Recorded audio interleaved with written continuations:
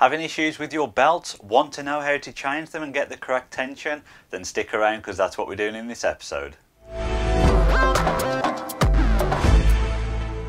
Hey everyone and welcome to another episode of James Dean Designs. If you're new to the channel and love CNC, make sure you hit that subscribe button to get all the latest videos. Now in today's episode we're taking a look at the belts on the Fox Alien 4040 XE, but the topics that we're going to be covering are relevant to a lot of belt driven machines, so don't think it is model specific. Now the two things we're focusing on today is how to change those belts and set the correct tension on them.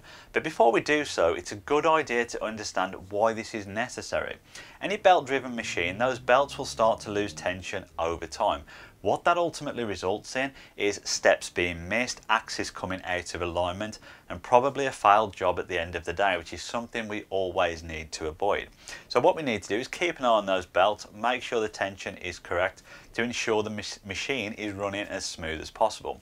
Now when my Fox Alien machine arrived and I assembled it, all of the tensioners had been used to the maximum capacity. The tension was okay on them at the time, but I didn't really think much of it. However, what I realised is that because all the capacity had been used, when they started to lose tension, I'd have no way to adjust them. So what we're going to do is take the belts off completely, reinstall them fresh, set the correct tension. So let's move over to the machine now and start to take a look at doing that. So as we're looking at the y-axis, we'll need to release the tension brackets on all four corners to get the belts free. We'll start by releasing the clamping down bracket bolt, we'll then release the tension bolt and finally we'll release the clamp itself to allow the ribbon to come free. So we can see that now we've released the tension, this becomes quite loose and we'll release the clamping plate now in order to take the belt out itself. I've fixed the clamping plate back down to make sure we don't lose any of the bolts or parts. The belt is now free and we'll continue to do this on all the other corners and then we can start to remove it out of the carriage itself. So with both ends of the belt free, we can pull it out through the carriage and release it completely. Now quick top tip, before you pull the belt out, attach a piece of string to one end or a ribbon, something along those lines. It needs to be fairly thin so it can go through this system, but it will just make it much easier to feed the new belt back through. This is one of the most difficult parts, so doing something as simple as this will make your life much easier. Now you can just pull it out with a bit of effort or you can apply some friction and use the knob on the stepper motor to pull it through as well. Obviously this will only take it halfway but it just makes life easier in getting it out. As you can see there the knot comes around the loop and it keeps going and then we can just pull it out the other side and there we have it. So when we come to feed the new belt back through we've got something in place to pull it all the way back through from the other end. And as I say just make life much easier so as mentioned earlier, for the purpose of this tutorial, I am simply refitting the existing belts back in place, but I wanted to show the process of how to remove them and then refit them through the carriage system. Now if you are ordering new belts, you need to order lengths of around 65 centimeters, so approximately 26 inches. That is a fraction more than you actually need, but it's better to have too much per length than too little. Alternatively, you can order a very long length and just cut it down to size as suited when you feed it through. So when feeding the belt back through, you want to make sure that the teeth are facing down into the extrusion and the flat piece is on top. This just ensures it's the right way when going through the carriage mechanism in order to grip the teeth on the stepper motor. Now in order to get the belt back through the system of wheels here, we're going to do the opposite of what we just did. We're going to pull on the string gently and feed it through, taking it slow and easy. We'll also use the knob on the side of the stepper motor to give us a bit of friction in order to pull it through as well.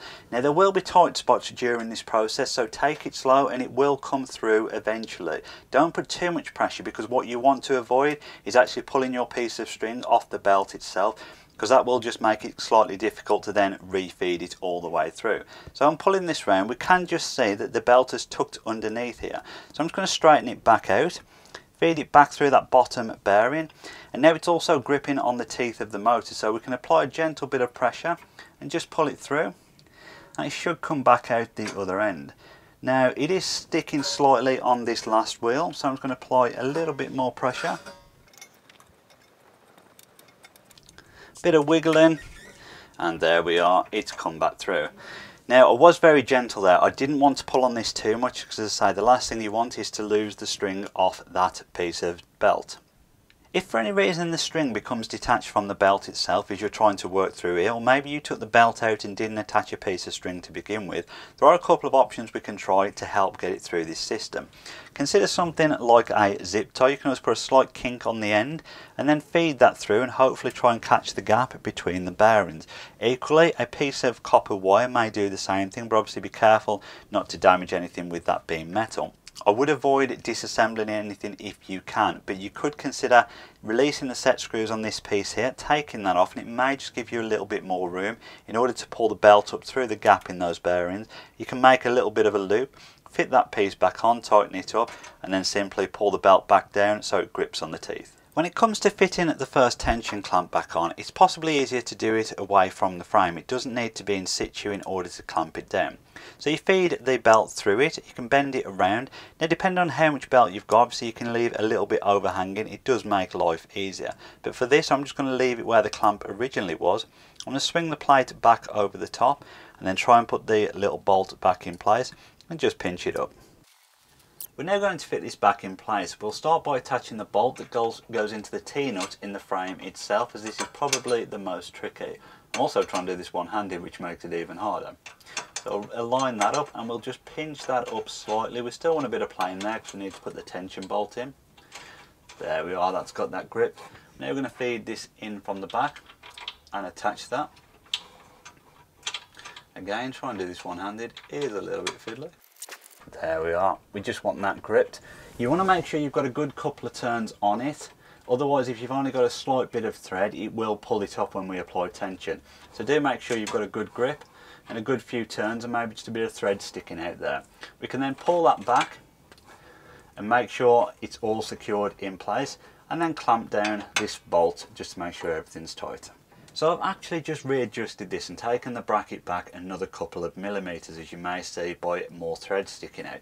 Now the reason for this is the Fox Alien machine runs right on the edge of how close the carriages come up to these brackets.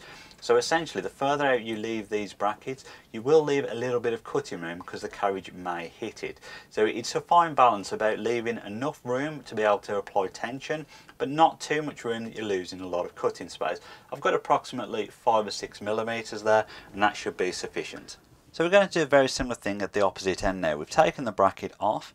I want to feed the belt through fold that over. We're not going to tighten this up too much. We just want it to be a loose fit at the moment. And I'll explain why shortly. So I'm just going to get that bolt in there just to hold it in place. And then we're going to fix that back to the frame itself. Now the reason we didn't clamp that too tight is because we know we need to take a little bit more belt and pull that through. So once we've got that in place and we want to bring this back up and just get a few threads on there Again, just bringing it to the edge of the plate so it's got a decent grip. Now we know there's a bit of slack in the belt itself, so we're going to try and pull a bit extra through on this clamp. So I've just released that off slightly. And now, as you can see, I'm pulling that over and I've just pulled through approximately about, I don't know, 10 millimeters. That, obviously, if you've got a different length belt, you will have a different length there. But I'm going to fold that back over now and just pin that back down in place. Now as I said at the start of the video, my tensioners were fully pulled back so I had no more to gain off them. That's one of the reasons I'm pulling this extra bit of belt through here, is because I want to make sure that we do have room left on the tensioners in order to apply tension to the belt. So I'm just going to clamp this up now, make sure it is all fixed in place. Last thing we want is them giving way on the belt and losing all the work that we've just done.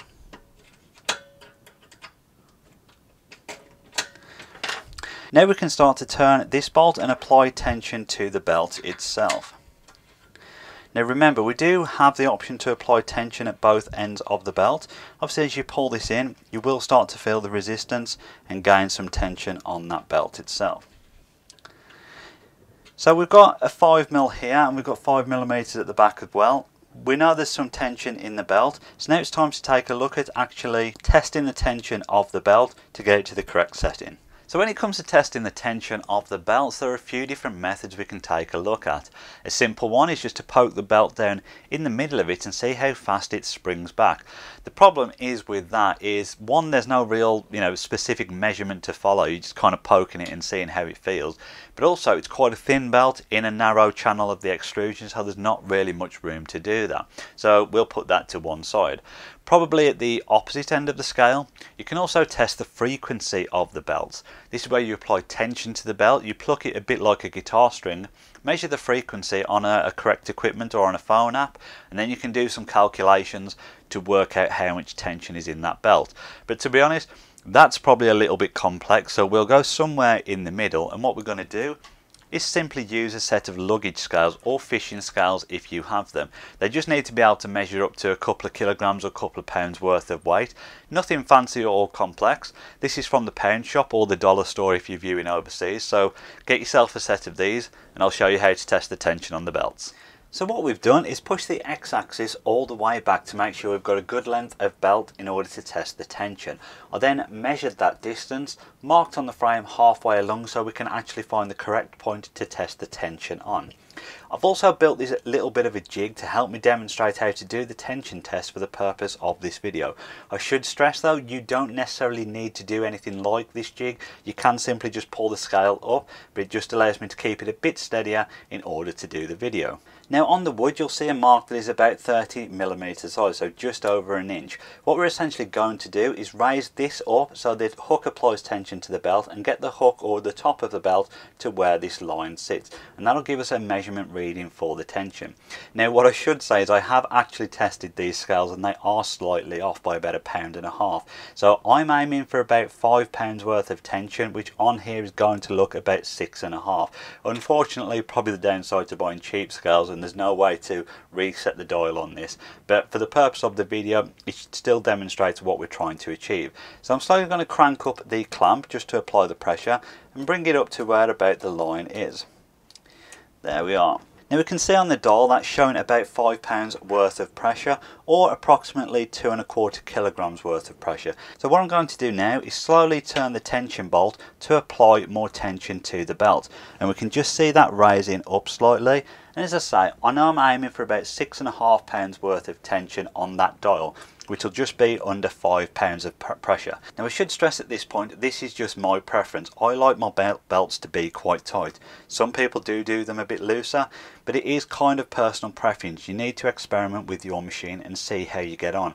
Different machines will have different tensions. Obviously, first point of call is always asking your manufacturer for a recommended tension setting. So we're almost there. I'm just going to tighten that up just a fraction more.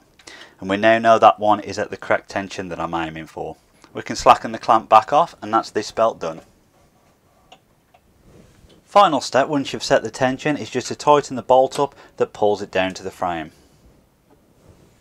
So we've set the tension and we're happy with where it is. Now I'm just going to stress at this point, if you are changing the belt on a dual driven axis, such as the Y axis where you have a belt either side, make sure you change both belts together. It may seem obvious, but there is a very valid reason for this. If you put a new belt with an old belt, they'll be stretched at slightly different rates. Essentially, the new belt will have all the teeth were a little bit closer together. The old belt will be a little bit more stretched and therefore they'll be spaced slightly differently.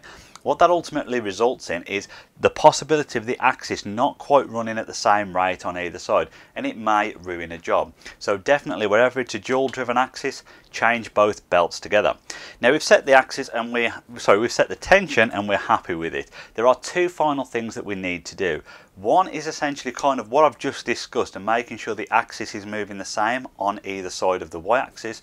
The other one is just to readjust the uh, limit switches to make sure that they're not hitting the brackets that we've just tensioned. So let's get that done now. So let's take a look at those limit switches. Now for the purpose of this video I've just taken the dust guard out here so we can see what's going on. What I'm going to do is slowly bring in the x-axis and pull it towards this limit switch bracket. Now straight away what we can see is it's about to hit that little bit of overhanging belt before it touches the limit switch. So the first thing I'm going to do is push that back a little bit and cut this little bit of a flap of a belt off just to make sure we've got the maximum room to work with. Be very careful when you are cutting these bits off. You don't want to go through to the belt underneath, obviously because that will damage it. So we've just taken that little bit of belt off. You can use a pair of snips or a Stanley blade, something like that. As I say, be very careful whichever method you choose. Now we're going to pull this x-axis back in slowly. And all being well, it should hit the limit switch before the wheel touches the tension bracket.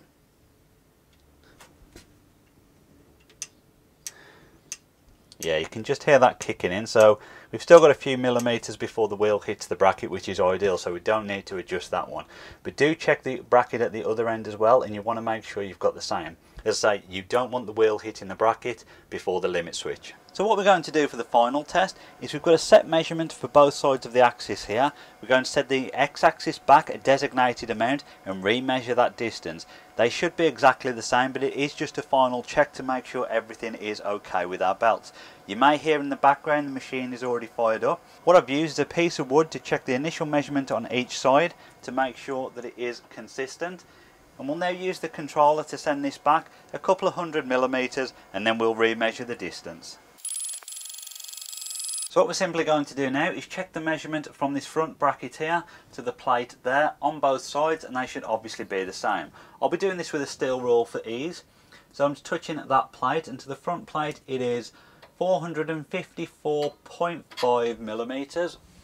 We'll check it against that side 454.5 as well. Perfect. So we've installed the belt, we've checked the tension and made sure everything is running accurately. So hopefully that minimises any issues coming from the belts themselves. Now do remember to check the tension on a regular basis. Include it as part of your maintenance schedule. Whether that's doing it every so many hours of running, once a week, once a month, obviously whatever is your preference. Now that does wrap up today's episode. As always, any questions, comment down below and I'll get back to everyone as quick as I can. A big thank you to you all for watching A big thank you to my Patreon supporters, and I'll see you all on the next episode.